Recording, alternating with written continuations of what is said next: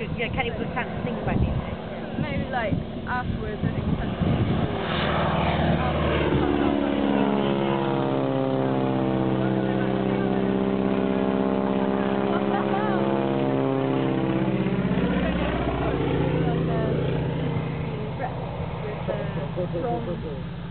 no, Mike Bishop, who came at the start of the year, and we don't normally